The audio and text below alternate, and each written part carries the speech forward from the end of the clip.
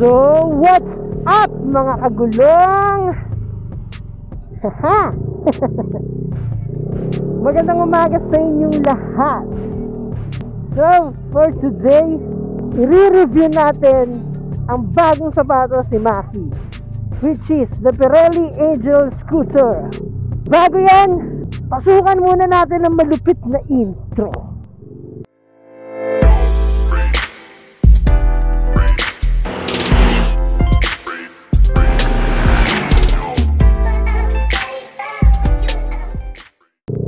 Alright!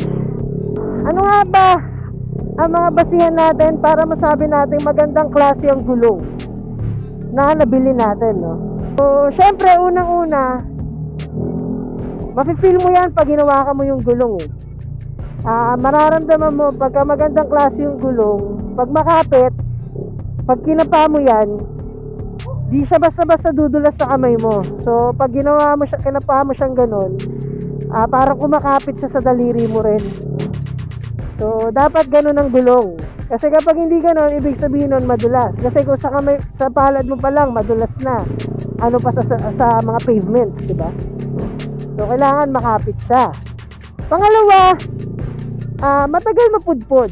Pero, actually, yung yung lifespan kasi ng gulong, depende kasi talaga yan sa paggamit mo. Tsaka, depende sa kung anong klaseng gulong yung binili mo. So, syempre, meron kasing tinatawag na gulong na soft compound tsaka medium compound. So, yung mga soft compound, yan yung mga ano, race tires. So, mula sa semi-race tires hanggang sa race tires. Yung sample ng mga race tires is Diablo Rosso. Yan, so yan ang the best. Yan talaga, the best of the best yan. Kahit saan mo dalhin yung Diablo Rosso, Diablo Corsa, Super Corsa, Diablo Rosso 2. Yan talaga ang mga race tire talaga. Kahit i-banking mo talaga. Kung makikita nyo yun sa mga MotoGP usually saka sa mga ano guys sa mga big bikes yan yung kadalasan makikita yung gulong. Kagaya na lang nung video natin nung ano nung pumunta tayo sa Motostrada ah yung MV Agusta nila yung Lewis Hamilton which is the 4 million bike. Nakaano na yun? Ah race tire ready na yun. Naka Diablo Super Corsa na yun. Diablo Super Corsa o Diablo Corsa 2 yun. So makikita nyo sobrang bilog nun. As in kahit isagad mo yung gulong may kakapit pa din. Isagad mo yung paglin mo kakapit pa rin yung gulong mo dun. Kasi nga race tire siya.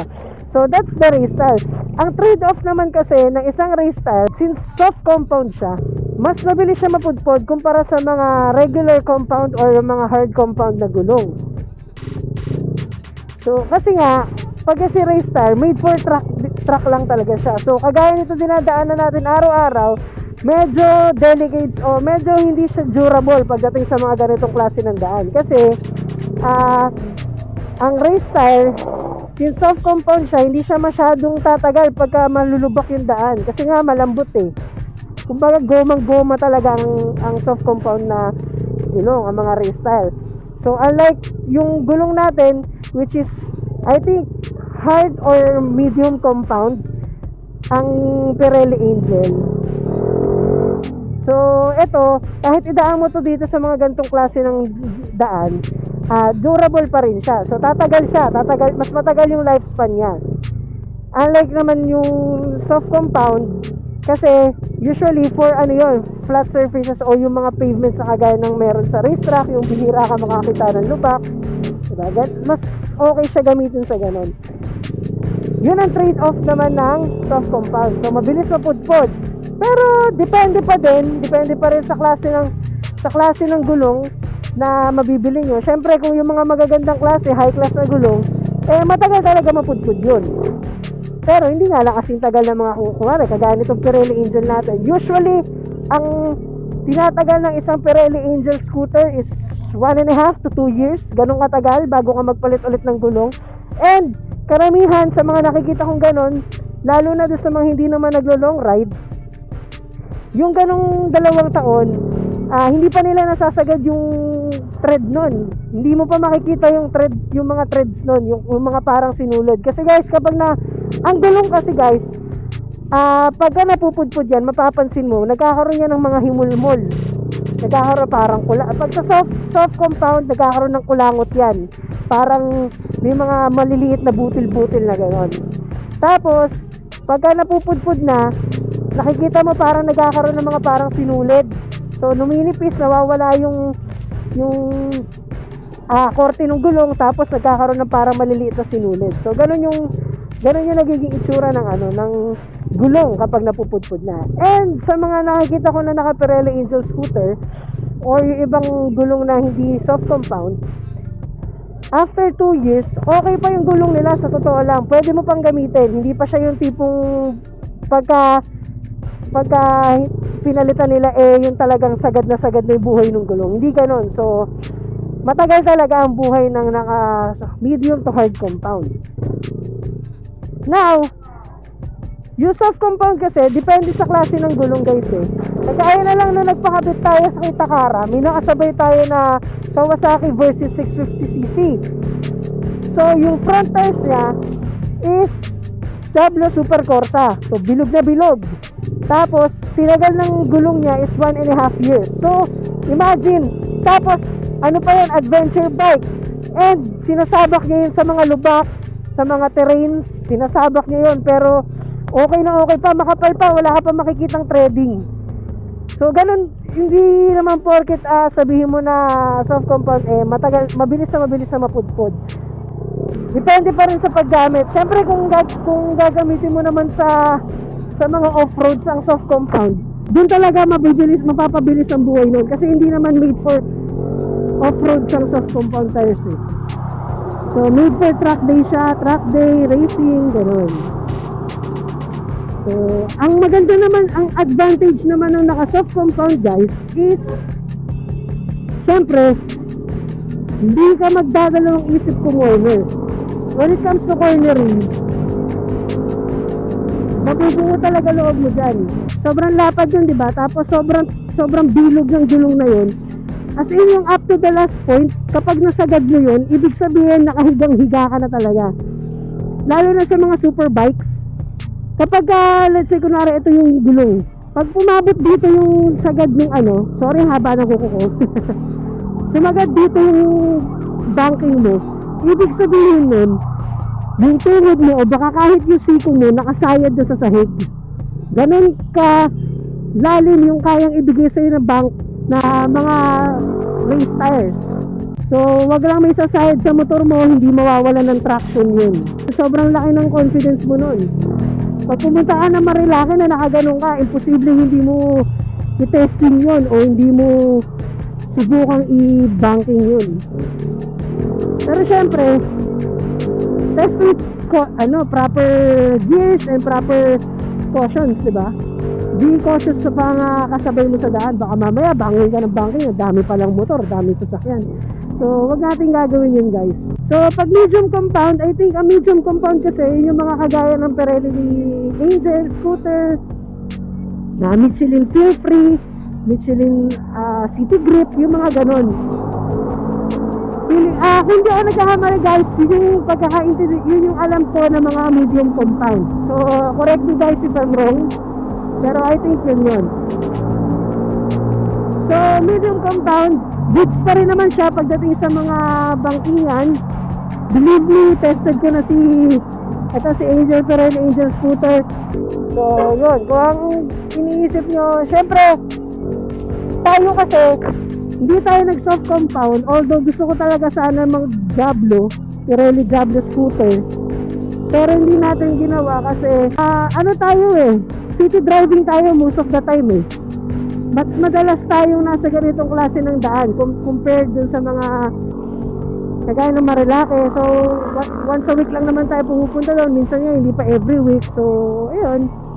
Pumili ako ng gulong na kayang ibigay sa akin yung cornering. Pero, kaya din ako suportahan pagdating sa city, city driving. So, as you can see guys, napaka-stable natin. Nakita nyo naman kanina dun sa curve, kahit na medyo nakalid tayo, hindi tayo nagdalawang isip, hindi tayo napa napasuko nung curve. so, ito, kahit dumaan kayo sa mga ano, sa mga gutter, hindi kayo dudulas nito.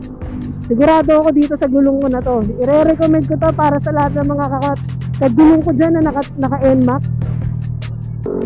Sobrang sulit itong gulong na to.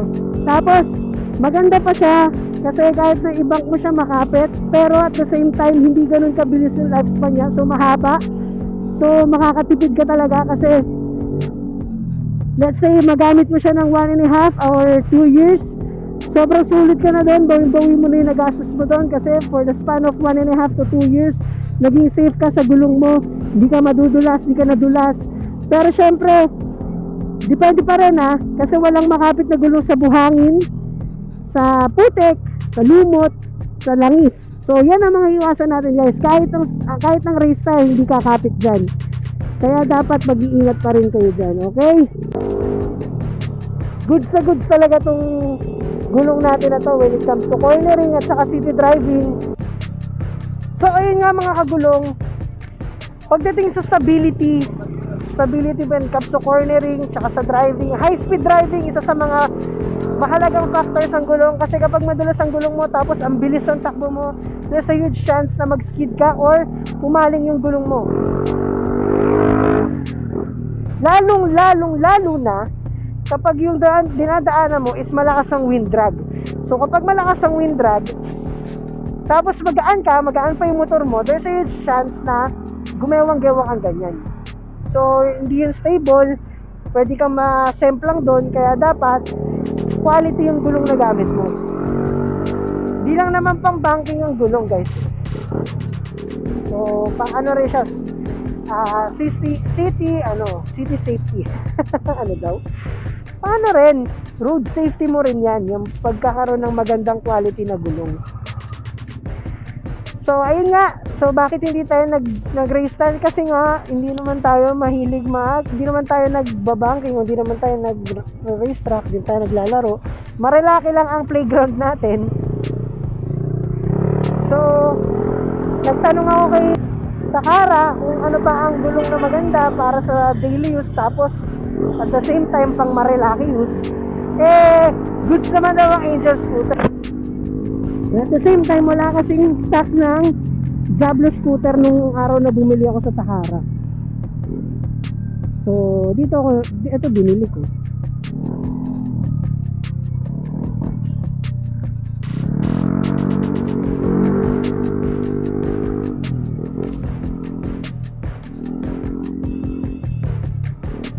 Kita nyo yon? Nakita nyo yan mga kagulong? Ganon kakapit si Pirelli Angel Scooter. Dati ginagawa ko yun sa stock pero talagang umaalog ako dyan. Promise. Maalog ako doon dahil hindi naman yun flat surface. Merong mga konting lubaks, lubaks. yung mga konting lubak doon na talagang mararamdaman mong umaalog o parang nagcha-chop yung gulong mo. And yun nga nung umakit kami nila Taylor Swift at nila Idol Breezy, ramdam na ramdam ko nagchat-chop yung gulong ko. Lalong lalo sa likod. So, nung nagpalit ako, eto na, eto na, yung confidence ko, plus 10 confidence kasi guys. yung confidence mo when it comes to cornering, madadagdagan talaga yan kasi nga, uh, tiwala ka dun sa gulong na ginagamit mo eh. Hindi, alam mo na hindi ka bibigoyin ng gulong na ginagamit mo. Lalo lalo na kasi tatak-takara. So since tatak-takara yung gulong natin, tiwala ako na yung gulong ko ay legit. so legit na legit yan kasi nga gawang takara, ay galing takara yan. Hindi ka naman bibigyan ni takara ng fake eh. Hindi naman tayo magtitiwala sa basta-basta eh. Takara yan eh, di ba? So ano yan eh, trusted at saka tested na yan ng napakaraming vloggers, hindi lang tayo. Mas marami pang sikat na vloggers na na-test talaga yan. Kung maaalala nyo yung ano ni Idol Breezy, yung kasama kami na nag-ride sa Marilake, nag, uh, munti ka siya sumemplang, pero dahil naka Jablo Rosso siya, tapos takara pa yung Jablo Rosso niya, na-save siya. So, sumayad yung muffler niya, sobrang lean niya sa Big C, pero hindi siya na templang. Kasi nga, maganda yung quality ng gulong so yan shoutout kay Takara kay Boss Brand napaka solid ng gulong mo Boss Brand sobrang taas ng confidence laki ng confidence ko kasi kung maaalala nyo mga kagulong uh, kung, ma kung para sa kaalaman nyo mga kagulong ako kasi medyo nadala ako sa pagbabank sa pagko-cornering. Kasi, dati, sumemplang na ako sa Marilake. Although, hindi ako nakabanking nun. Ang takbo ko nun para mga 40 lang, 40, 50, ganon. Tapos, curve siya pero hindi ako nakalin. Tamang liko lang ako. Kaso, nagulat ako kasi may bumulaga sa akin sa sakyan. Ginahin niya yung kalahati ng linya ko. Eh, yung part ng Marilaki na yon medyo makitid. So, parang kapag may isang sasakyan sa isang lane niya, hindi na kasya yung isa pang motor sa katabi. So, kaila, isang sasakyan lang talaga yung kasya. Eh, since kinain niya yung linya ko, napilitan ako sumagad sa gilid. Eh, nung, araw, nung, nung time na yon hindi pa ganito yung simento nun. So, mabuhangin yung gilid, napapreno ako, so sumadsad ako, nag-skid yung gulong ko. Ang motor ko pa nun is si Andrew, yung beat natin. So, ayun, nag-skid, nag-skid ako nun. Although naka Pirelli Angel City ako nun, pero hindi ko sa Takara binili. So, nag-skid yung likuran ko nun. Ah, hindi ko alam kung likod ang nag-skid sa ano kasi nasakto, nag-preno ako eh. Eh, kaso nung pag-preno ko, nandun na ako sa part na mabuhangin. So, ayun, dumulas ako. Nasemplang ako. So, mula, nadala na ako sa pagko-cornering. Medyo naglaylo ako sa pagko-cornering. Pag umakyat nga ako sa Marilaki, hindi ko kaya tumakbo ng 40, 50 eh. Namumula talaga ako. Feeling ko mauulit yung nangyari sa akin dati. Pero, since hobby ko, hobby ko umakyat ng Sierra, paborito kong lugar ng Sierra, at gusto, gusto ko talagang bumabang, in-overcome ko yung fear ko na yun. Nag-try ako, nag-try. Hanggang sa makuha ko na ulit yung tamang body position. Hindi man tama, hindi ko naman sasabi expert ako, pero yung way ko ng pag-bank dati, yung up to my limits dati, na-reach ko na siya ulit. Ano lang naman tayo eh, ride safe pa rin. So yung pagra-ride natin, yung pagbabanking natin is up to our own limits. So hindi natin yung sinasagad. Hindi natin yung naubos yung kakayahan natin. Siyempre, di naman racetrack yun eh. Kung racetrack yun, yan, sige, sagad yun ang isagad. Tapos, naka-proper ano ka, race suit ka. O, walang problema. Eh, since ako, nipads lang naman ako, tapos padded jacket and regular helmet. Pero, shoutout NHK. Hindi ako binigo ng NHK nung araw na sumit lang ako. So, kita nyo naman, kahit basa yung dinaanan ko, kumakapit pa rin yung gulong ko. So, try natin dito. Dito banda sa medyo mabu medyo ano to eh, medyo delicate dito. Pero for the sake of ano review, i-try natin siya. So compared sa mga stock tires, mas nakakalakas ng loob yung nakaganitong tires. Kahit idaan mo sa kanal, alam mong aahon ka dun sa kanal nang hindi ka na disgrasya. So, yun, okay na okay naman. Wala ka mararamdaman ng kahit anong chop or kahit anong pag-skid, kahit konting pagdulas man lang. Yun. Malaking bagay kasi yung alam mo na maganda yung gulong mo guys kasi hindi ka talaga magdadalawang isip eh. ba? Kumbaga hindi ka kakabahan doon sa mga dinadaanan mo. Whenever you needed to go somewhere somewhere a little bit ano exciting. exciting. Yung mga kung mapipilitan ka talaga pumunta sa gutter o sa kanal, alam mo hindi ka hindi ka ipapahiya, hindi ka madidisgrasya o tiwala ka sa gulong mo na okay na okay, okay na okay ka lang. 'Di ba? So ayun nga, pagdating sa gulong, kailangan nyo lang alamin kung ano ba yung klase ng paggamit sa gulong na kailangan ga- na gagawin nyo. So depende kasi sa, sa klase ng driving habit nyo, kaya sa klase ng mga travel na ginagawa nyo, yung pagpili nyo sa klase ng gulong na tamang tama para sa inyo. So, kung racer ka, mahilig ka mag-banking, uh, off, uh, mahilig ka mag-track day, go for ano, soft compound tire. Ngayon, kung ano ka naman, city driver ka lang, tapos mahilig ka lang mag-long drive, eto, kagaya ng Pirelli Angel Scooter. Okay na okay siya. Wala kang problemahin. Mapa cornering man, tapos mapa ano man, long drive, tapos city drive, walang problema kasi since mahaba nga yung lifespan niya, hindi ka ba sisiraan ng gulong, mauupudan ng gulong. So yan, you just have to know kung ano ba yung, para saan ba yung gulong na gusto mong ipalit o kung ano bang kailangan mo talaga. Ngayon, once na ma-identify mo na kung ano ba yung mas kailangan mo na klase ng gulong, saka ka bumili. Para hindi sayang, di ba, para goods. And huwag niyong kakalimutan na kay Takara bumili. Kung gusto niyo talaga ng legit, good quality, good customer service, tapos sungkit with love, gusto nyo ma-experience ang sungkit with love, kay Takara tayo pumunta guys. Doon talaga solid, wala akong masabi. At ang bilis ha. Kita nyo naman doon sa vlog ko nung nagpakabit tayo ng Takara. Actually, wala pang 30 minutes yun. Nung the moment na tinanggal nila yung, bala, yung harap at likod na gulong, nung kinabit na nila, nung i-videoan ko na, likod na lang yung kinakabit. So, o- tapos na yung harap. Kaya, kay Takara talaga tayo guys. Napakasulit. May mga freebies pa. Wala ka nang problema sa tire sealant, may kasama pang pito. Kaya okay na okay guys. So that's it for our vlog guys. So sana nakatulong ako para makapag-decide kayo kung anong gulong na gusto nyo. So as for as for Maki, ang nabili nating sapatos niya is Pirelli Angel Scooter. So this is the review of the Pirelli Angel Scooter. Ah, no questions asked. Quality, walang kaparis. Siyempre, legit Pirelli yan eh. Hindi naman magiging world class ang Pirelli kung hindi siya legit. Kung hindi maganda ang quality, di ba? So, Pirelli Angel Scooter, one of the, one of the best tires na pwede nyo makuha para sa mga MCC. Lalong-lalo na sa mga scooter. Sample, di ba? Kita niyo yung kapit mo?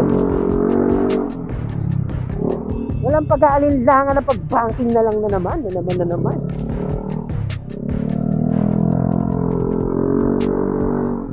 Ano, kahit sana lang ako bumabangking eh. Maipakita ko lang sa inyo kung gaano kaganda tong gulong natin. So, ayan.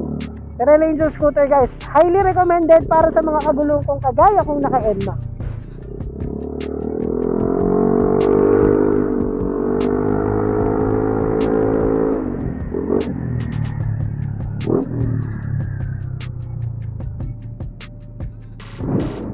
Woo! Sarap, no? Sarap, sir. Power of Akrapovic. Akrapovic. So, yun mga kagulong. This is it. Hanggang dito na lang tayo. So, maraming maraming salamat sa patuloy na pagsuporta sa ating channel. Thank you dahil hindi kayo kasama panoorin yung mga vlog ko kahit hindi naman ako ganun kagaling mag-vlog. So, pangako, ga- mas gagalingan ko pa, mas paghuhusayan ko pa, mas gagandahan pa natin ng content at yung pagde-deliver ko ng mismong vlog ko, mas aangasan ko pa. So, yan. Thanks for watching. Ride safe, guys. So, you know the drill, guys. Para sa mga bago dito sa, sa ating channel, don't forget to like, share, and subscribe. And hit that bell button para ma-notify kayo sa mga bago nating uploads. Don't forget, guys, like yung page ni Takara para ma-update kayo sa mga price list nila ng mga gulong. Okay? Shout out, Takara. Salamat sa Pirelli Angel Scooter natin. Alright, you know the drill, guys. Ride safe, Godspeed, and see you guys I see ya. Bye-bye.